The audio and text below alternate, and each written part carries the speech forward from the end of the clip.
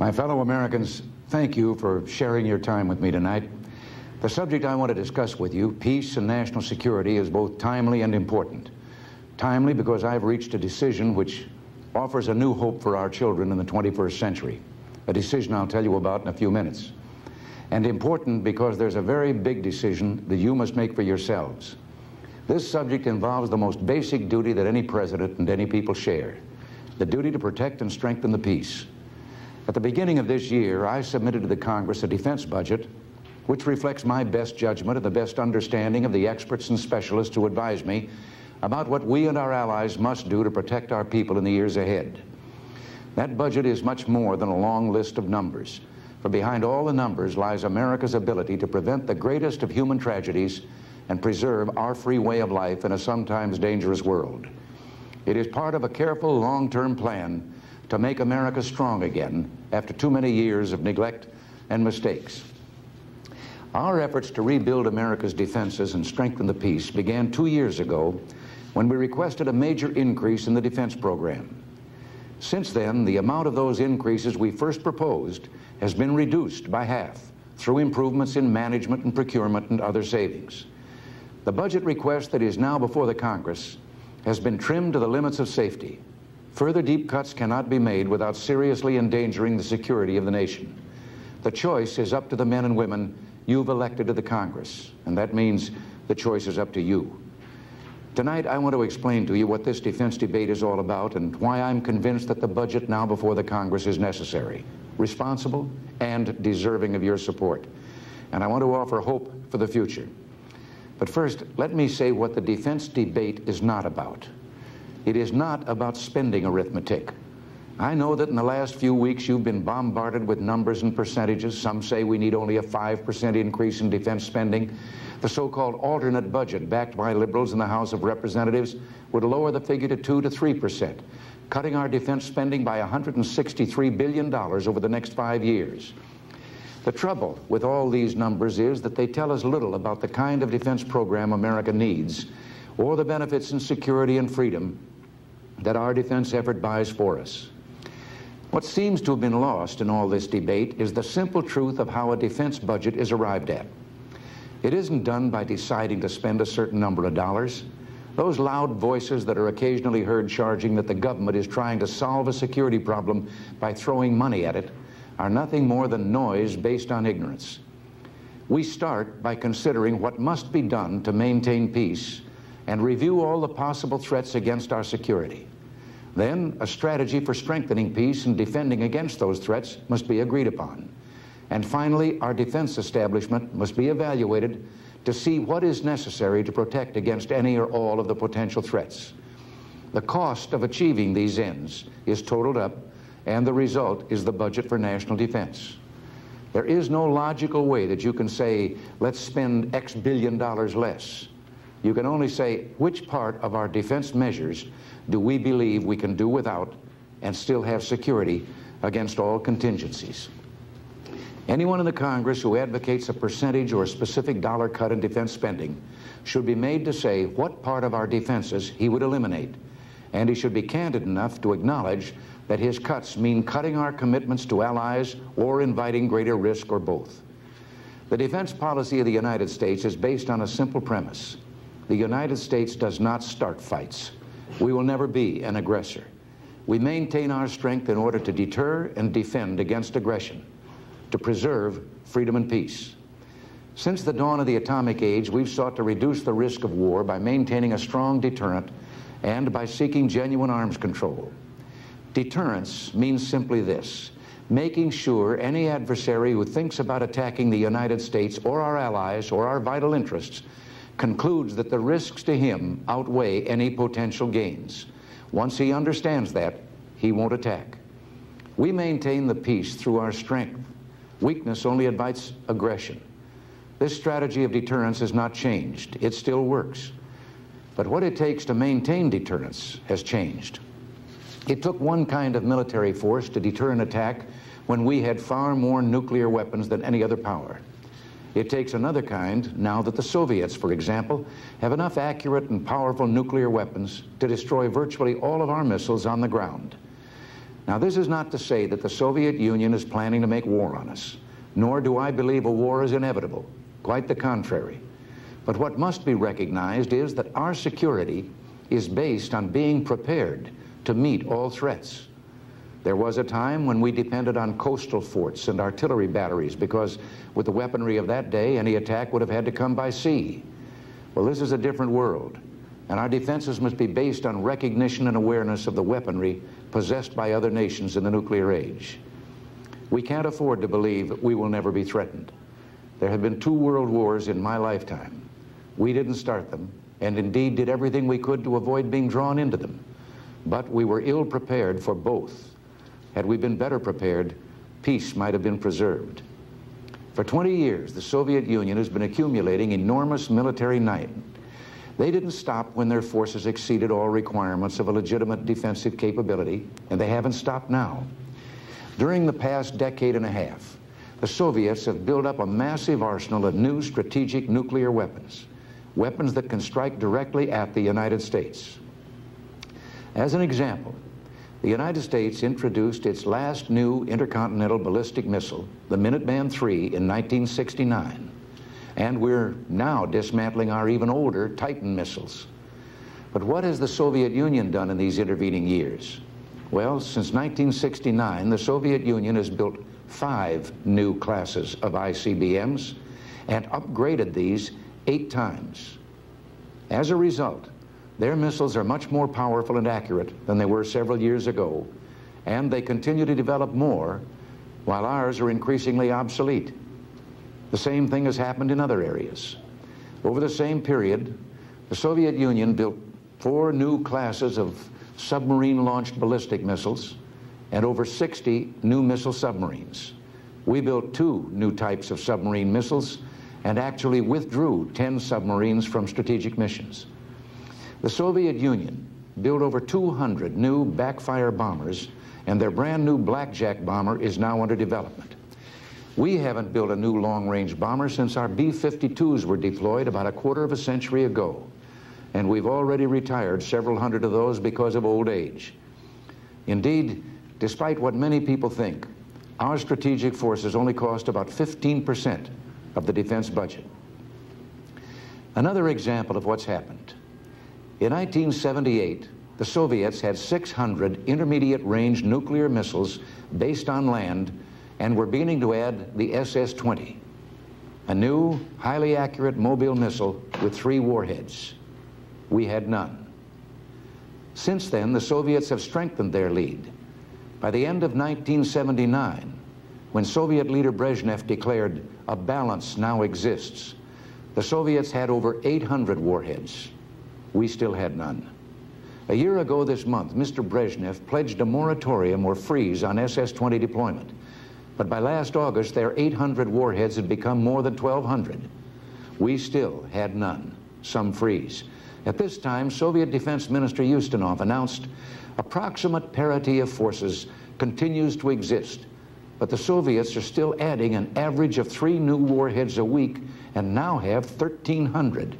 These warheads can reach their targets in a matter of a few minutes. We still have none. So far, it seems that the Soviet definition of parity is a box score of 1,300 to nothing in their favor. So, together with our NATO allies, we decided in 1979 to deploy new weapons beginning this year as a deterrent to their SS-20s and as an incentive to the Soviet Union to meet us in serious arms control negotiations. We will begin that deployment late this year.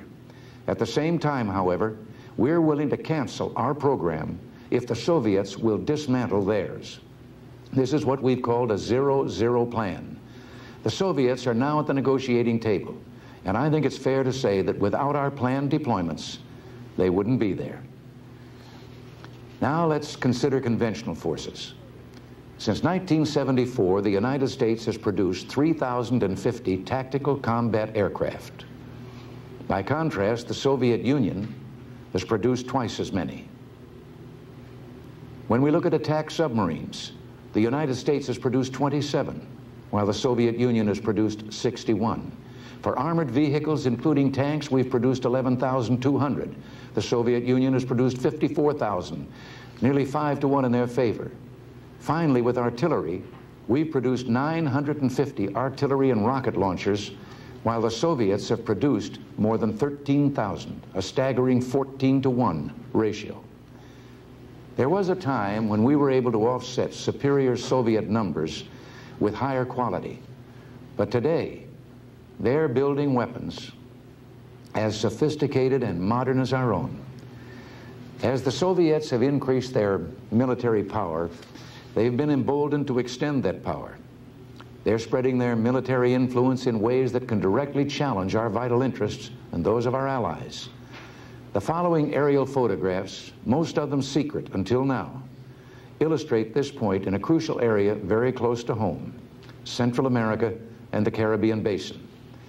They're not dramatic photographs, but I think they help give you a better understanding of what I'm talking about.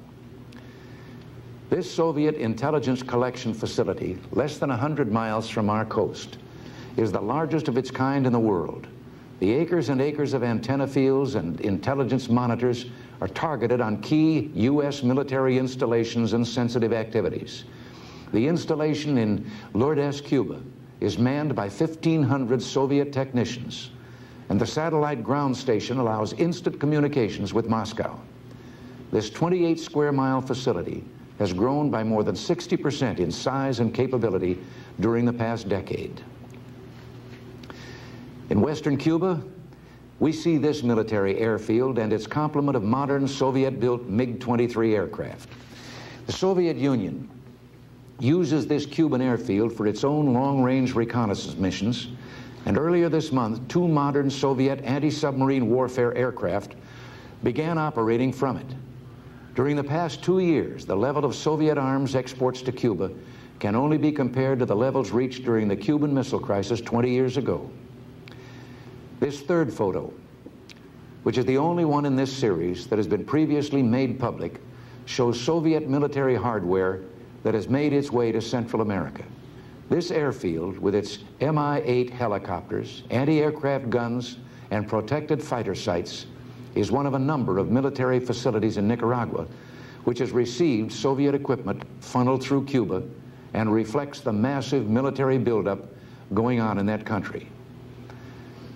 On the small island of Grenada, at the southern end of the Caribbean chain, the Cubans, with Soviet financing and backing, are in the process of building an airfield with a 10,000 foot runway. Grenada doesn't even have an air force. Who is it intended for? The Caribbean is a very important passageway for our international commerce and military lines of communication. More than half of all American oil imports now pass through the Caribbean. The rapid buildup of Grenada's military potential is unrelated to any conceivable threat to this island country of under 110,000 people and totally at odds with the pattern of other Eastern Caribbean states, most of which are unarmed. The Soviet-Cuban militarization of Grenada, in short, can only be seen as power projection into the region, and it is in this important economic and strategic area that we're trying to help the governments of El Salvador, Costa Rica, Honduras, and others in their struggles for democracy against guerrillas supported through Cuba and Nicaragua. These pictures only tell a small part of the story. I wish I could show you more without compromising our most sensitive intelligence sources and methods. But the Soviet Union is also supporting Cuban military forces in Angola and Ethiopia. They have bases in Ethiopia and South Yemen near the Persian Gulf oil fields. They have taken over the port that we built at Cam Ranh Bay in Vietnam. And now, for the first time in history, the Soviet Navy is a force to be reckoned with in the South Pacific. Some people may still ask, would the Soviets ever use their formidable military power? Well, again, can we afford to believe they won't? There is Afghanistan, and in Poland, the Soviets denied the will of the people and in so doing demonstrated the world how their military power could also be used to intimidate. The final fact is that the Soviet Union is acquiring what can only be considered an offensive military force. They have continued to build far more intercontinental ballistic missiles than they could possibly need simply to deter an attack. Their conventional forces are trained and equipped not so much to defend against an attack as they are to permit sudden surprise offensives of their own. Our NATO allies have assumed a great defense burden, including the military draft in most countries. We're working with them and our other friends around the world to do more. Our defensive strategy means we need military forces that can move very quickly, forces that are trained and ready to respond to any emergency. Every item in our defense program, our ships, our tanks, our planes, our funds for training and spare parts, is intended for one all-important purpose, to keep the peace. Unfortunately, a decade of neglecting our military forces had called into question our ability to do that. When I took office in January 1981, I was appalled by what I found. American planes that couldn't fly and American ships that couldn't sail for lack of spare parts and trained personnel and insufficient fuel and ammunition for essential training. The inevitable result of all this was poor morale in our armed forces, difficulty in recruiting the brightest young Americans to wear the uniform, and difficulty in convincing our most experienced military personnel to stay on. There was a real question then about how well we could meet a crisis, and it was obvious that we had to begin a major modernization program to ensure we could deter aggression and preserve the peace in the years ahead. We had to move immediately to improve the basic readiness and staying power of our conventional forces so they could meet and therefore help deter a crisis. We had to make up for lost years of investment by moving forward with a long-term plan to prepare our forces to counter the military capabilities our adversaries were developing for the future. I know that all of you want peace, and so do I. I know, too, that many of you seriously believe that a nuclear freeze would further the cause of peace. But a freeze now would make us less, not more secure, and would raise, not reduce, the risks of war. It would be largely unverifiable and would seriously undercut our negotiations on arms reduction. It would reward the Soviets for their massive military buildup while preventing us from modernizing our aging and increasingly vulnerable forces. With their present margin of superiority, why should they agree to arms reductions knowing that we were prohibited from catching up? Believe me, it wasn't pleasant for someone who had come to Washington determined to reduce government spending, but we had to move forward with the task of repairing our defenses or we would lose our ability to deter conflict now and in the future. We had to demonstrate to any adversary that aggression could not succeed and that the only real solution was substantial, equitable, and effectively verifiable arms reduction, the kind we're working for right now in Geneva. Thanks to your strong support and bipartisan support from the Congress, we began to turn things around. Already, we're seeing some very encouraging results. Quality recruitment and retention are up dramatically. More high school graduates are choosing military careers, and more experienced career personnel are choosing to stay.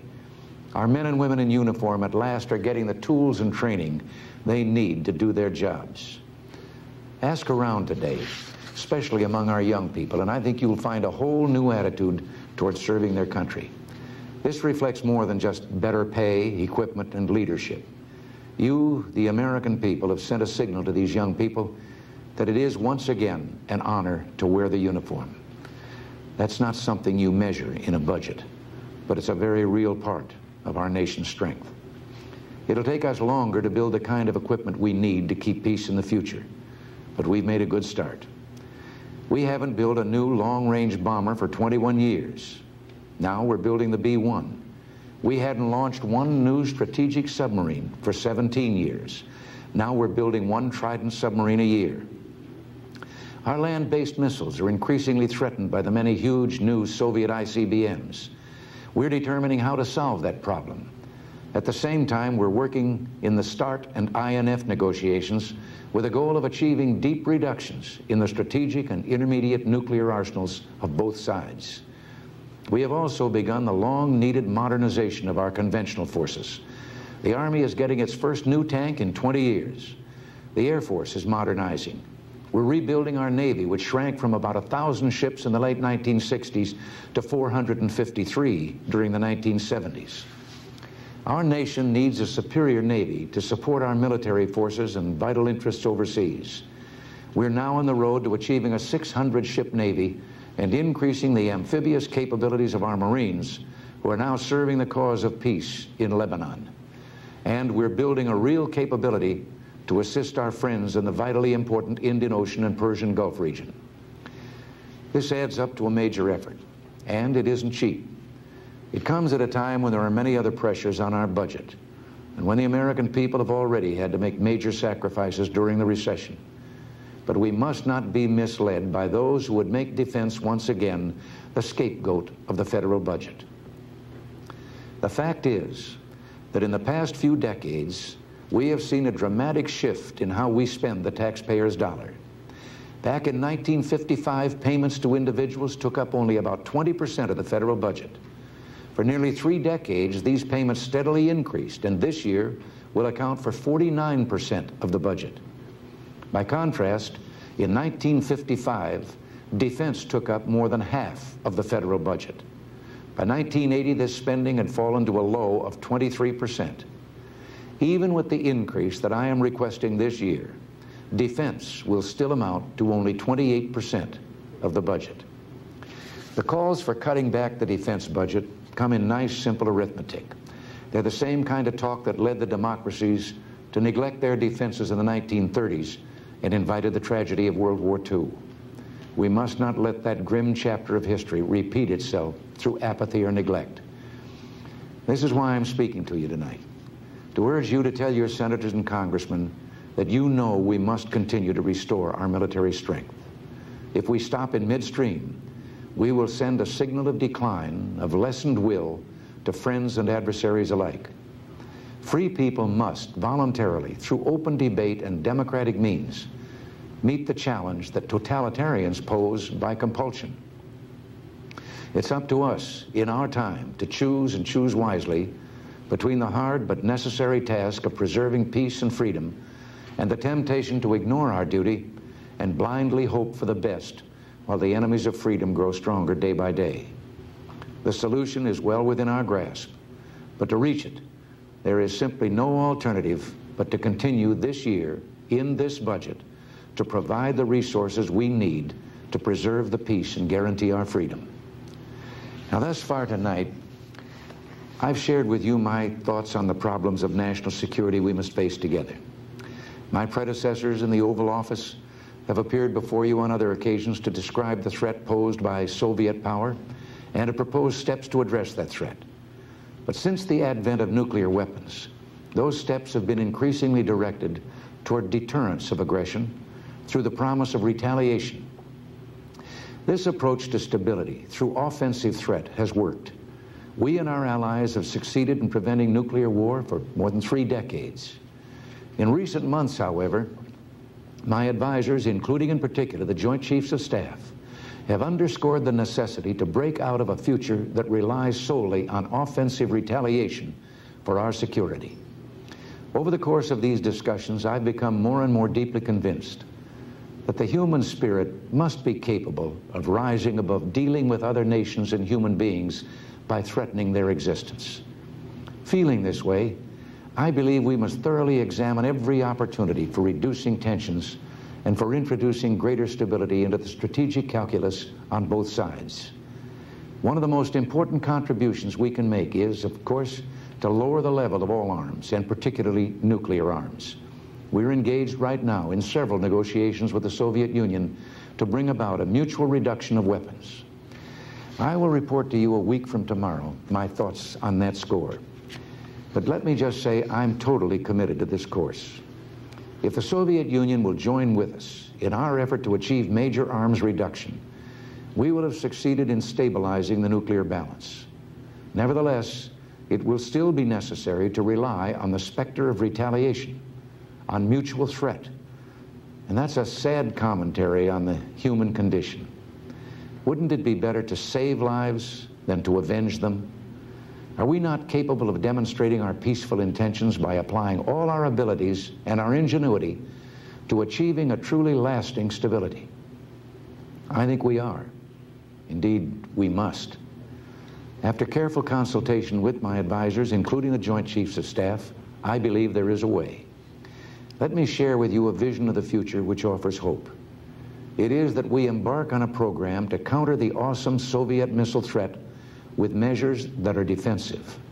Let us turn to the very strengths in technology that spawned our great industrial base and that have given us the quality of life we enjoy today. What if free people could live secure in the knowledge that their security did not rest upon the threat of instant U.S. retaliation to deter a Soviet attack, that we could intercept and destroy strategic ballistic missiles before they reached our own soil or that of our allies. I know this is a formidable technical task, one that may not be accomplished before the end of this century. Yet current technology has attained a level of sophistication where it's reasonable for us to begin this effort. It will take years, probably decades of effort on many fronts. There will be failures and setbacks, just as there will be successes and breakthroughs. And as we proceed, we must remain constant in preserving the nuclear deterrent and maintaining a solid capability for flexible response. But isn't it worth every investment necessary to free the world from the threat of nuclear war? We know it is. In the meantime, we will continue to pursue real reductions in nuclear arms, negotiating from a position of strength that can be ensured only by modernizing our strategic forces. At the same time, we must take steps to reduce the risk of a conventional military conflict escalating to nuclear war by improving our non-nuclear capabilities. America does possess now the technologies to attain very significant improvements in the effectiveness of our conventional non-nuclear forces. Proceeding boldly with these new technologies, we can significantly reduce any incentive that the Soviet Union may have to threaten attack against the United States or its allies. As we pursue our goal of defensive technologies, we recognize that our allies rely upon our strategic offensive power to deter attacks against them. Their vital interests and ours are inextricably linked. Their safety and ours are one. And no change in technology can or will alter that reality. We must and shall continue to honor our commitments. I clearly recognize that defensive systems have limitations and raise certain problems and ambiguities. If paired with offensive systems, they can be viewed as fostering an aggressive policy and no one wants that. But with these considerations firmly in mind, I call upon the scientific community in our country, those who gave us nuclear weapons, to turn their great talents now to the cause of mankind and world peace, to give us the means of rendering these nuclear weapons impotent and obsolete. Tonight, consistent with our obligations under the ABM Treaty and recognizing the need for closer consultation with our allies, I'm taking an important first step. I am directing a comprehensive and intensive effort to define a long-term research and development program to begin to achieve our ultimate goal of eliminating the threat posed by strategic nuclear missiles. This could pave the way for arms control measures to eliminate the weapons themselves. We seek neither military superiority nor political advantage. Our only purpose one all people share, is to search for ways to reduce the danger of nuclear war. My fellow Americans, tonight we're launching an effort which holds the promise of changing the course of human history. There will be risks, and results take time, but I believe we can do it. As we cross this threshold, I ask for your prayers and your support. Thank you. Good night and God bless you.